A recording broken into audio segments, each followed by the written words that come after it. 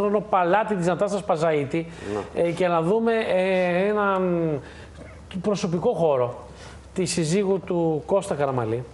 Ε, ένα, ιατρείο, ένα ιατρείο που υπόσχεται ότι θα βοηθήσει αρκετές γυναίκες οι οποίες έχουν προβλήματα μαστού, με το μαστό. Για πάμε να δούμε παρακαλώ. Ένα Μακάρι.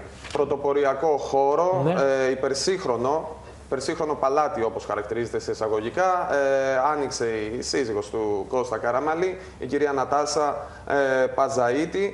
Ε, η ίδια μάλιστα μέσω ε, από το facebook προωθεί τον ε, χώρο της που θέλει να βοηθήσει πολλές γυναίκες που έχουν ε, καρκίνο, καρκίνο στο μαστό.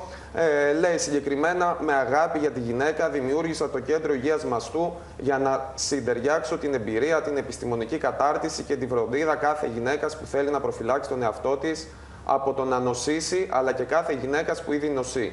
Είναι ένα υπερσύγχρονο ιατρείο όπου τα τελευταία γενιάς ιατρικά μηχανήματα, σε συνδυασμό με την προσωπική σχέση που αναπτύσσω με κάθε γυναίκα ξεχωριστά, διασφαλίζουν το άρτιο επιστημονικά και αισθητικά αποτέλεσμα, λέει η κυρία Παζαρίτη. Μάλιστα. Ξαναλέμε, ένα ιατρείο Να το πούμε οποίο καλή προωθεί επιτυχία, και να μόνη πούμε της. καλή επιτυχία Μακάρι και να πραγματικά για, για το καλό και αυτό πρέπει να περάσουμε ένα Προχωράει. μήνυμα ότι όλες οι γυναίκες θα πρέπει να κάνουν ε, τα ειδικά τεστ ε, μαστού, Μαστογραφίες. τεστ πρόληψη. ΠΑΠ και γιατί η πρόληψη είναι ό,τι πιο σημαντικό υπάρχει και σώζει ζωές. Και να μην υπάρχουν ουρές για αυτά εδώ. Και ό,τι σωστό στην Ελλάδα, από ό,τι διαπιστώνω, προέρχεται από τον ιδιωτικό φορέα. Μάλιστα. Δυστυχώς. Πάμε, πάμε μια βόλτα παρακαλώ πολύ τώρα. Μια βόλτα μέχρι την εφημερίδα. Μπαμ, παρακαλώ.